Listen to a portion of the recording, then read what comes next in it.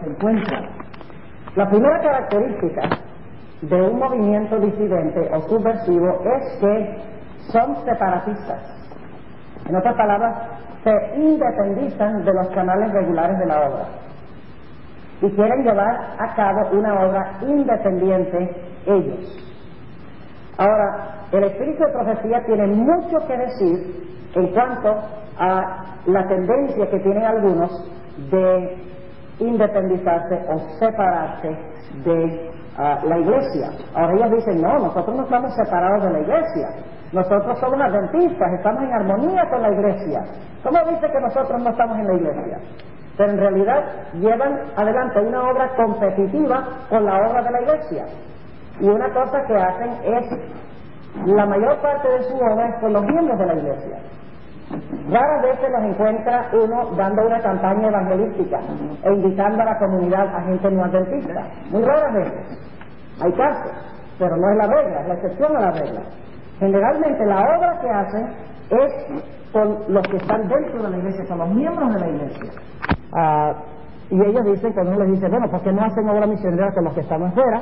Dicen, bueno, lo que pasa es que hay que reavivar y reformar la iglesia para que entonces podamos alcanzar a los que están afuera.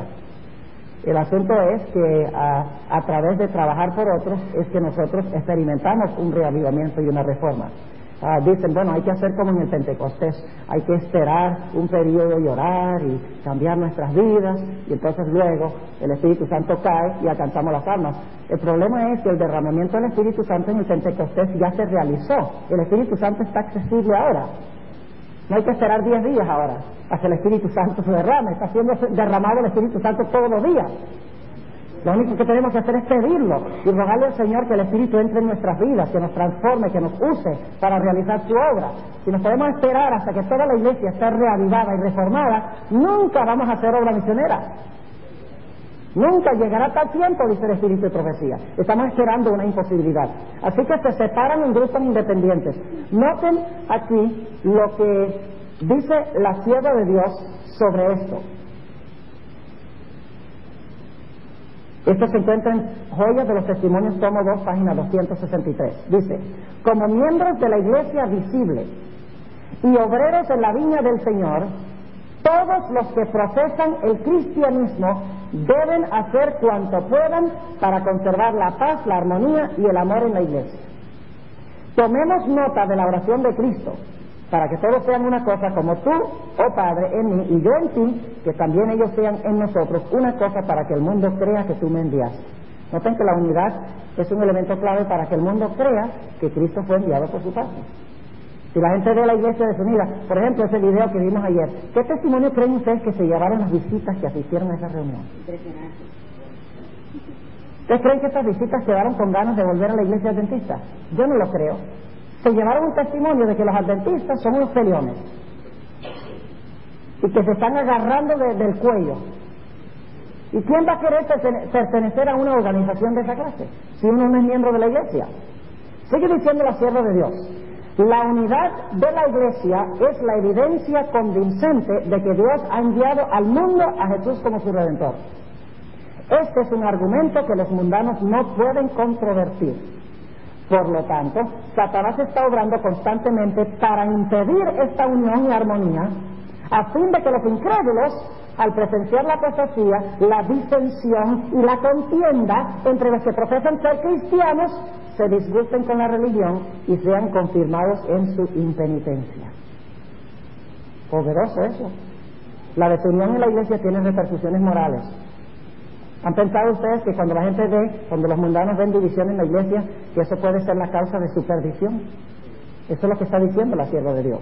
Sigue diciendo, Dios queda deshonrado por aquellos que profesan la verdad, mientras están en divergencia y enemistad unos con otros.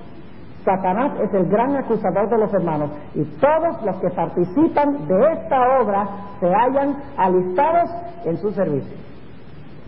Es una cita poderosa.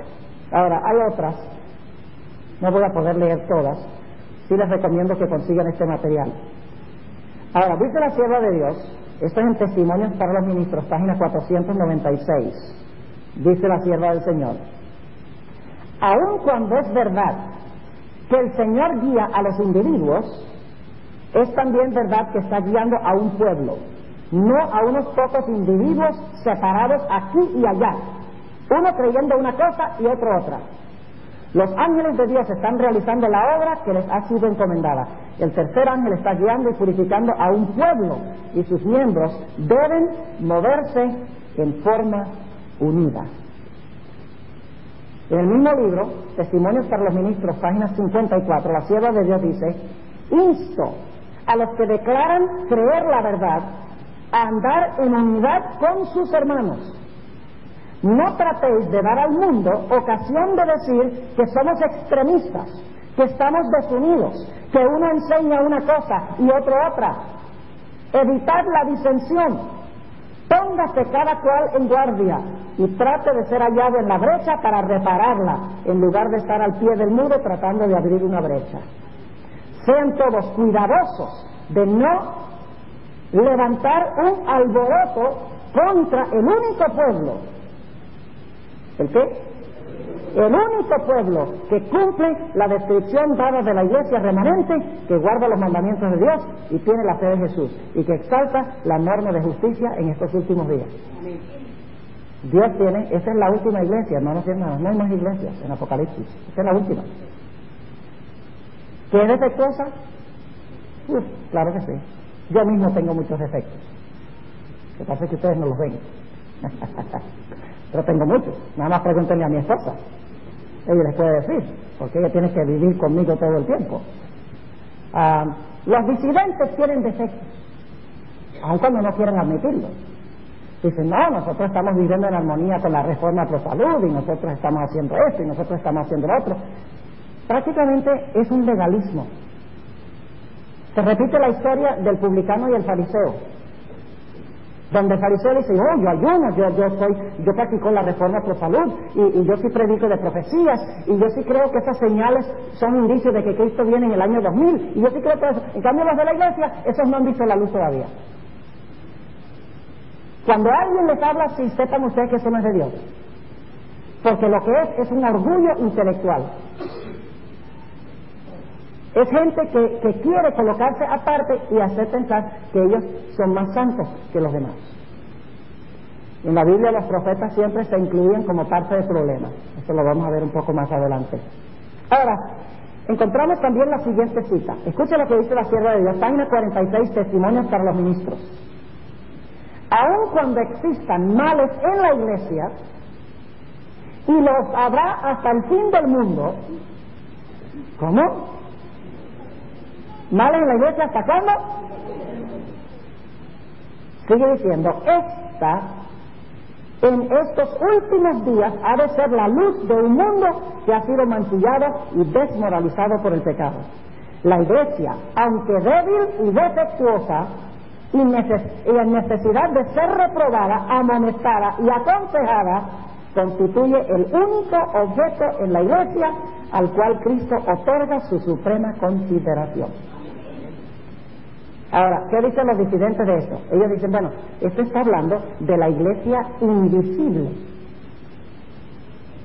Es decir, está hablando no de la organización, sino que está hablando de la iglesia de aquellos que son fieles a Dios. Esa es la verdadera iglesia.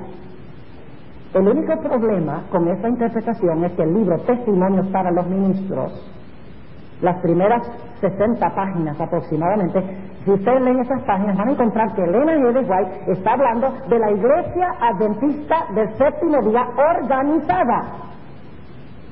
Lean esas páginas, las primeras 60 páginas de testimonios para los ministros. La, hermana White deja muy claro que está hablando de la iglesia adventista del séptimo día organizada. Inclusive en varias páginas, vamos a verlo un poco más adelante esta mañana, ah, la hermana White amonesta a aquellos que dicen que la iglesia adventista del séptimo día es Babilonia.